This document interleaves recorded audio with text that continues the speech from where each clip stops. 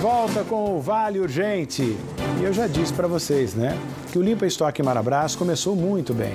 As pessoas estão gostando, as lojas estão cheias, mas não é à toa, não é verdade, gente?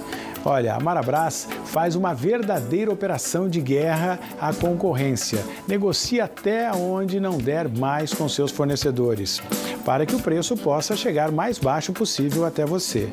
E depois você pode parcelar tudo isso em 10 vezes sem juros e ainda no cartão. São mais de 130 lojas a todo vapor, com vendedores que sabem o que precisam fazer e fazem de tudo para realizar os seus sonhos. Então vamos lá, galera?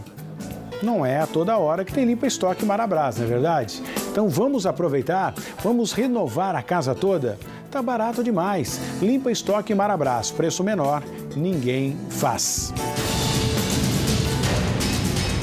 Em menos de 12 horas, choveu em Lorena pra caramba. E sabe quanto choveu? 63% do que é esperado para todo o mês de janeiro. Apesar de alguns pontos de alagamento, a situação está sob controle. Ontem de manhã, a Defesa Civil e os homens do Corpo de Bombeiros, a equipe da Secretaria de Assistência eh, de Desenvolvimento Social, enfim, obras, planejamento urbano e outras equipes, principalmente a vigilância epidemiológica, estiveram no local, né, nas casas eh, inundadas ali pela região, para tentar ajudar, verificando as necessidades dos moradores. E é a natureza pedindo passagem.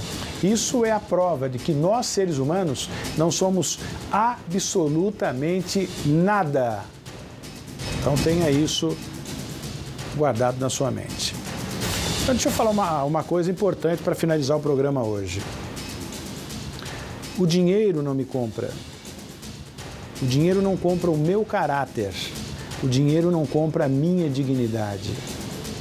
Quando eu apresento um programa, seja em qualquer emissora que seja, é com responsabilidade, caráter e seriedade. Vem aí Solange Moraes e o Falando Nisso.